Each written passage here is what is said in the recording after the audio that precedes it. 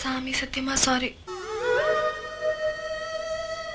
S O R R I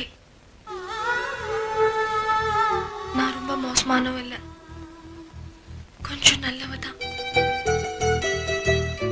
என்னை பார்த்தா பாவமா